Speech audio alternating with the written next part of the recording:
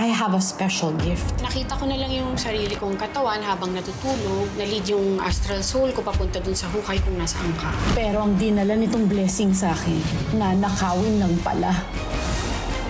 Ikaw na si Farah at ako na si Lucy. Sa wakas, matutupad ko na ang pangarap kong maging totoong tayo. A Carla Abellana you've never seen before. Abangan si Lucy sa Stolen Life this November